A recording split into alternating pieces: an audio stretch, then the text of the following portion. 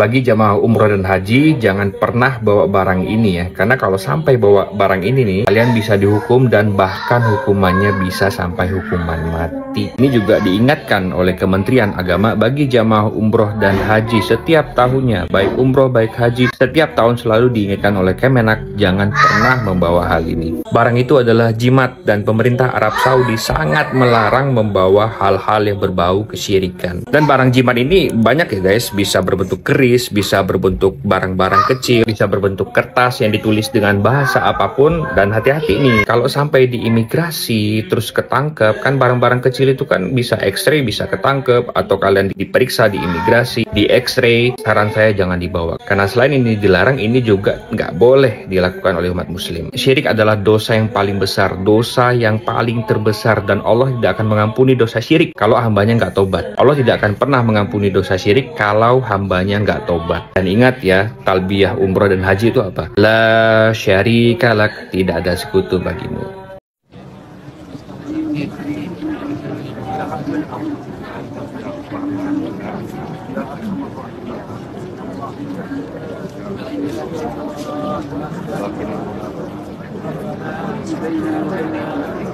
Teman-teman, ada beberapa konsekuensi ketika kita memakai jimat baik itu jimat yang kita gantungkan di leher atau kita pakai di ikat pinggang atau kita taruh di dompet atau juga yang kita tempelkan di atas dinding baik itu jimat kita gunakan untuk pengasihan, pengelarisan usaha kita, menarik lawan jenis untuk kekebalan, maka kita akan mendapatkan konsekuensi ya teman-teman.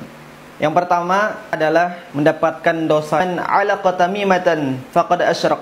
Barang siapa yang menggantungkan tamimah atau jimat maka dia telah berbuat syirik.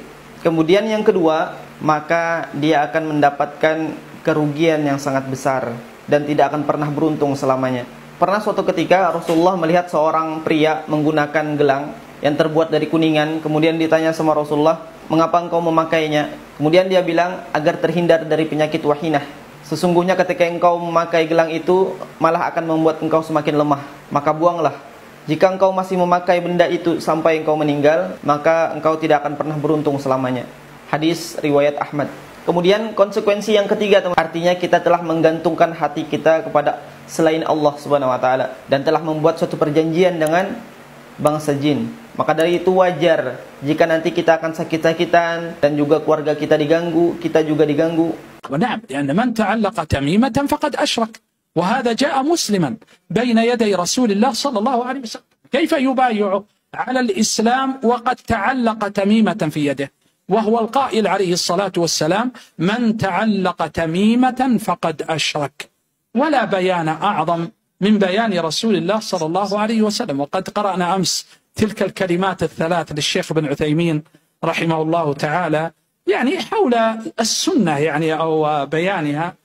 قال إن رسول الله صلى الله عليه وسلم أفصح الخلق وأبين الخلق ويعني وأنصح الخلق. عليه الصلاة والسلام لا يمكن يقول عن التميمة إنها شرك وهي ليست بشرك. معناه أنه يعني عنده تدليس أو كذب وحاشاه عليه الصلاة والسلام أن يكون كذلك. حاشاه إي والله. فعندما قال فقد أشرك معناه أنه أشرك. ولذلك النبي صلى الله عليه وسلم هنا لم يبايع بايع تسعة وترك هذا لكن لما قطعها جاء هنا قال فأدخل يده فقطعها فبايعه بعد ذلك النبي صلى الله عليه وسلم Awas, jemaah haji ketahuan bahwa jimat bisa diancam hukuman mati. Bagi masyarakat Indonesia yang ingin pergi melaksanakan ibadah haji ke Tanah Suci, ada baiknya untuk memperhatikan barang-barang yang boleh dan tidak boleh dibawa ke Arab Saudi. Pasalnya, saat ini pemerintah Arab Saudi semakin memperketat aturan barang bawaan jemaah yang akan beribadah ke Mekah. Salah satu barang bawaan yang dilarang dibawa oleh jemaah haji adalah jimat, yang diyakini memiliki kekuatan, kehebatan, atau kesaktian. Apabila jemaah haji diketahui membawa jimat, maka dapat dihukum dengan kategori sihir dan difonis mati. Hal tersebut disampaikan oleh Direktur Pelayanan Haji Luar Negeri, Subhan Holid, dalam acara bimbingan teknis petugas penyelenggara ibadah haji, PPIH, Arab Saudi di Jakarta Timur, Ahad, tanggal 24 Maret tahun 2024. Dia juga meminta agar para jemaah saling mengingatkan satu sama lain terkait hal tersebut sebelum keberangkatan.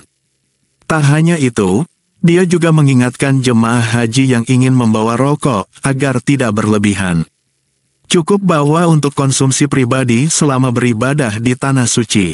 Dia melarang membawa rokok secara berlebihan karena dapat disangka untuk berdagang dan dihukum dengan pasal penyelundupan serta berujung pada pidana. Sebelumnya, pada 2023 lalu, Konsultan Jenderal, Konjen, Indonesia di saat itu, Eko Hartono, juga pernah menyampaikan pesan serupa.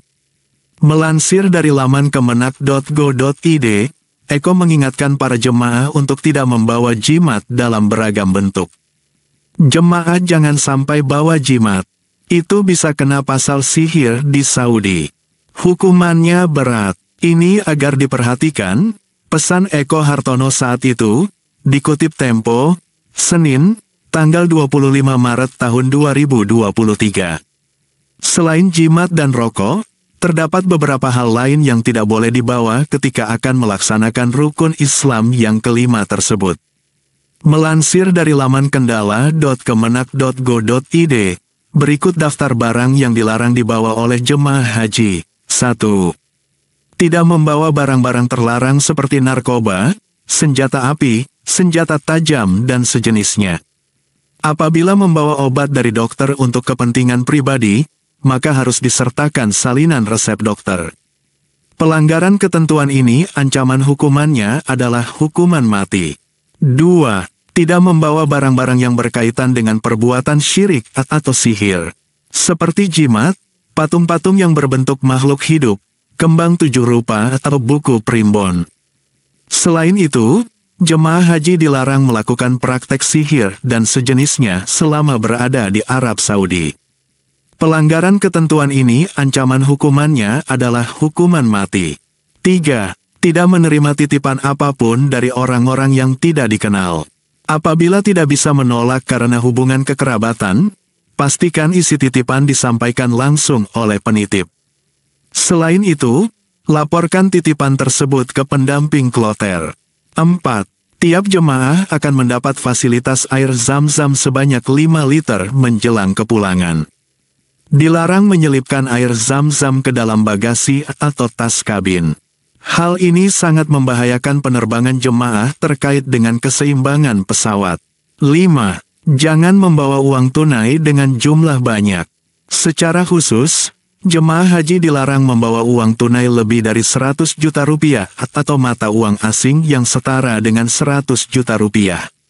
Apabila jemaah haji harus membawa uang lebih dari 100 juta rupiah, harus memberitahu dan mengisi formulir pembawaan uang tunai sebagaimana diatur dalam Peraturan Menteri Keuangan, PMK, nomor 203, PMK, 04, 2017. 6. Jemaah haji dilarang membawa CD atau DVD yang tidak ada kaitannya dengan ibadah haji atau tidak sesuai dengan budaya Arab Saudi, apalagi yang terkait tindakan ke arah pornografi.